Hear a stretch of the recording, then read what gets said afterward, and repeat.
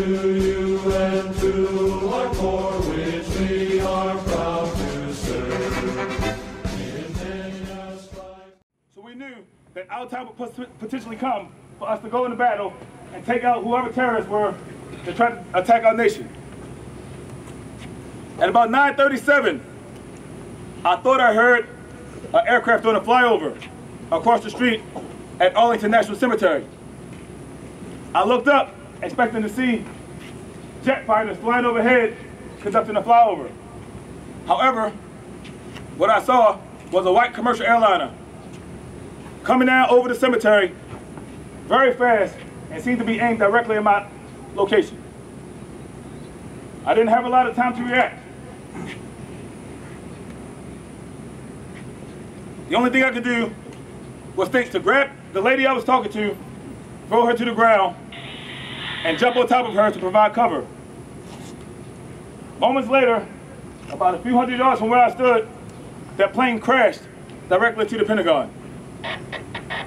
To put things in perspective, I was standing about where the firefighters are. The plane crashed into the side of the building where our English hallway is. So not far. My immediate reaction was to ensure that everybody was safe. So I ran in the building, informed all of my coworkers that the plane had just crashed into the building and that everyone needed to get out and get to safety. So everybody ran out. We went to a designated area. We got accountability of everyone. But as we were standing there, I could watch and see people coming out and panic. People injured. Things were in disarray. And I knew I couldn't just stand by and watch. I had to do something. So I asked my boss if I could help. He authorized it. So I took a few Marines and we ran down towards the building as it was still in, in flames. With people running out, we ran in. And at that moment, my life changed. I knew that I was no longer the innocent young man that I once was because what I was about to see and what I was starting to witness was going to be something that would be so terrifying that I would never be the same. I spent the entirety of that morning setting up triage areas and medical spaces to help save those individuals who could be saved, while simultaneously trying to bring dignity to those who were no longer living, and ensuring that we can get those individuals to a safe marked location where their bodies could be laid down to rest without bringing discredit or dishonor to, the, to their families.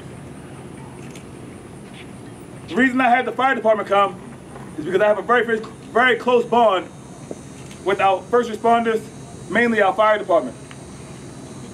Because the crash was so unexpected, it was extremely difficult to get fire EMS on site to be able to put out the fire and help bring aid to those individuals hurt inside. So after we had initially set up a trauma area for those individuals hurt, we then transitioned to our second role, which became fire support escorts. So the firefighters did not know the Pentagon. Firefighters came from all over different locations, and the Pentagon is like a windy, twisty maze of hallways and entrances, which they did not know. So we took that time to work side by side with firefighters and escort them throughout the building to find ways to link up their hoses to be able to get to the fire from the inside, while other firefighters got to it from the outside. And while working alongside these men and women, I saw the bravery of them going into rooms that you can see the door was red hot because the fire was so strong on the other end. And most people would go away. However, they kicked those doors in to get inside to try to help us locate and find any survivors so we can get them to safety. and days after 9-11 is where I realized our nation shifted. No longer were we a country in divide. Unfortunately, terrorism brought our country together. During this time, we were no longer us and them. We were all proud to be Americans. And the red, white, and blue flag were up everywhere. I bet at that time, if I would have paid to buy flags, I would be rich right now. Because every house in America had a flag out in front of his yard. Any person who had any type of differences represented all one thing, this flag of ours. And what does that mean to us here at IL Texas? How do I want to translate that to you all?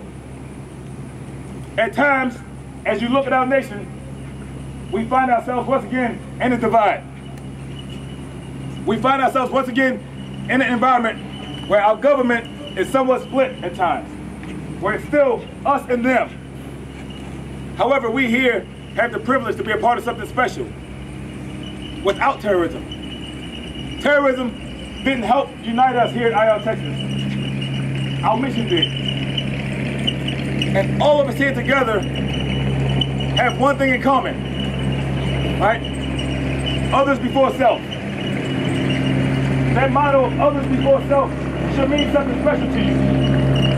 As you came out here this morning and you shed a little sweat and put a little sweat on your body, I want you to remember those individuals who lost their lives on that day. And as you think about how do I put others before myself, I want you to think about those families who no longer have their loved ones. I want you to think about the children who no longer have their mom or dad. The parents who no longer have a son or daughter. And the fact that we get to be blessed every single day to live to see another day. We should be united in our common bond to be better people. To take the others before self motto and change each day to make it a better day for the rest of our lives. I tell each and every one of you all, when you say the, the IL Texas Student Pledge, at the end, I want to hear some enthusiasm when you say, I will change the world, right? The reason I say that I truly believe that you all have what it takes to change our world. You all are going to be the catalyst to change our nation and change this world, one person at a time. So with that, I again, I thank you for pushing yourself. I thank you for stepping outside of your comfort zone and doing something that you would not have normally done. I thank you for staying in there, even when it was difficult, and pushing yourself through adversity. Like I said, it's just a little run for fun, right? But it's also a run to remember. So with that, I appreciate you all for letting me be a part of your lives. I look forward to watching each and every one of you all grow. I thank you for what you did this morning. And Semper Fidelis, which is our Marine Corps motto, it means always faithful. Hurrah! Hurrah! Hurrah! Hurrah! Hurrah! Hurrah! All right, good to go. All right, at this time, what we're going to do is we're going to go ahead